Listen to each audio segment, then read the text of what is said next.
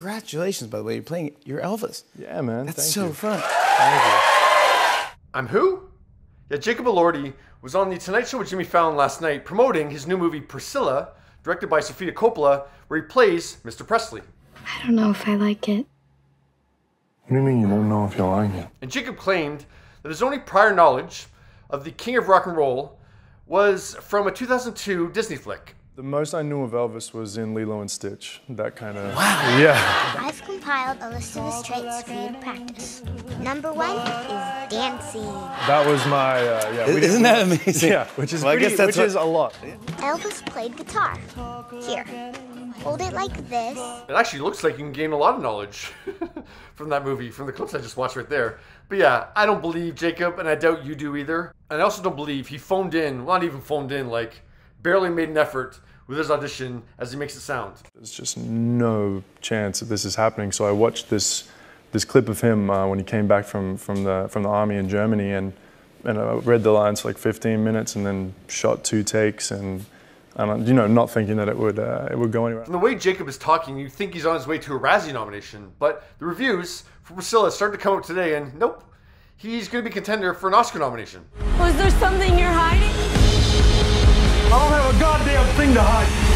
Reviews do point out that Jacob isn't playing the you know superstar on stage Elvis. This is like the Elvis stripped away of all that. I don't know what you call it, like pizzazz is the only word that's coming to mind, which explains Jacob's mindset shooting the film. The whole time I was trying to trying to take it like I was making Blue Valentine or something, just like a straight up relationship drama without Elvis and Priscilla for Sofia Coppola. That Yeah, was like the goal. Entertainment Weekly said in their review that it's pointless to compare Jacob's Elvis to the Oscar nominated and probably oh so close to winner Austin Butler's Elvis. Well, you may go to college, you may go to school. because they had very different assignments. Fair enough, but I certainly can compare their interviews on the Tonight Show with Jimmy Fallon as they both promoted their Elvis movie. I'm pretty sure my voice for that was like. It's not just one voice of Elvis. His voice changed so much over the years. Uh, well, I'd like to say how happy we are to be down here. It's a real honor for us to be get a chance to appear on Louisiana Hayride. I, I, everything's happened to me so fast in the last year and a half till uh, I, I'm all mixed up. You know, I mean, I, I can't keep up with everything that's happening. Well, he just came out here from Memphis, and uh, Austin Butler's press tour was long. From promoting the movie in like May, June, actually, no, even before that, because yeah, they were at the uh, Cannes Film Festival too. So yeah, like, I guess there was like early May to like late June, he's promoting this movie. Then the awards season was from like November to what, like February. So it was a lot of Austin Butler talking about Elvis.